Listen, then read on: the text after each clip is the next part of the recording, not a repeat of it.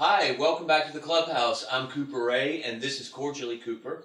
And today we will be discussing Article 6 from the Bill of Rites, and that is the pleasant.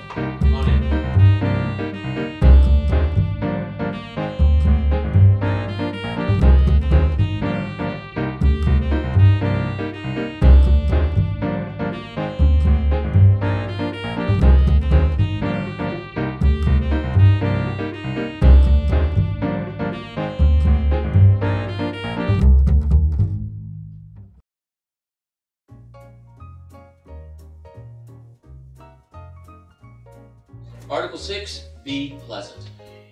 If you're having a bad day, stay home. Nobody wants to share that. Look, life is hard enough. Um, when we're invited out on a social outing, um, a great dinner party, even drinks with friends, there's always that compelling part of you that says, you know, I have to go. And I understand that. I, I'm, I'm as social as the next person. But if you're going out and you're taking a bad mood, if that's your house gift or your or your your, your guest gift, then nobody wants it. Um, so the other night we are out at a friend's house in the country. He invited about eight of us over. There's always great food, good drinks, and he usually has a killer playlist. So everybody kind of adjourns to the living room, rolls up the rugs. It's a really guaranteed good time, an invitation that you want to receive. So there we are, and one of our friends' husband comes in, and from the minute he walks into the in the room, he's in a grouch. And you know, you think, oh, maybe you know they had a fight in the car, maybe not. No, this was an epic grouch. Start to finish, rumble, rumble, rumble through dinner. You were prying conversation like an oyster to get in there. It was impossible. Then Even it carried on to dessert. It carried on to the dance floor. At that point, when somebody's not getting the message, I just turn up the music and turn up the vibe and turn up the liquor and like drown them out.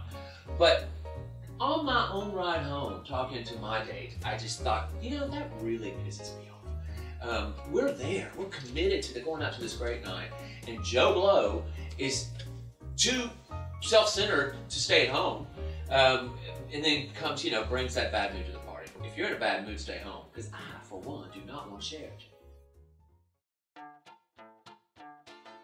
Hi, uh, sitting here with um, our, our friend Cooper Murray, who stopped by the clubhouse, and uh, as with anyone who stops by, we drill them on our uh, etiquette book. Welcome, Cooper. Thanks. Do Pleasure you, to be Do you here. say Cooper or do you say Cooper?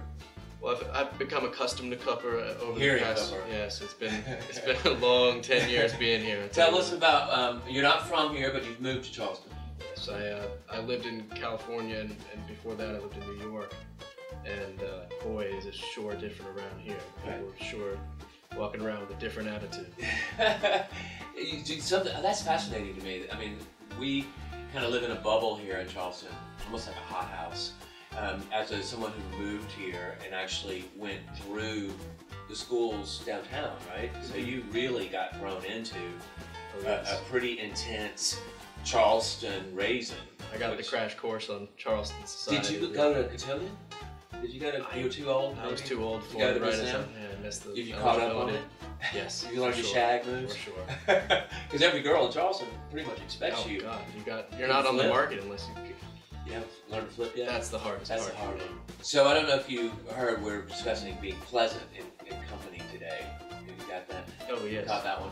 Um, what uh, did you would you catch a little bit of what we were saying? What, what do you think about uh, what, what pops to your head when we talk about being pleasant?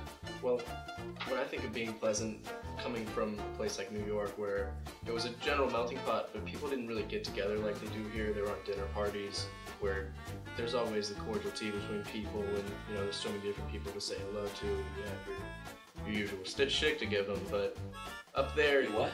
your shtick, you know, you, you got your story, your It's interesting to hear someone who moved here as a teenager and you immediately noticed how social the place is. And, and that's when you see the benefit of being pleasant. And, and, and by that, you know, everything is just respect people's time. And I mean, who wants to be around a grouch, right? I mean, there's tons of times when you uh, maybe have to go, particularly when you're younger.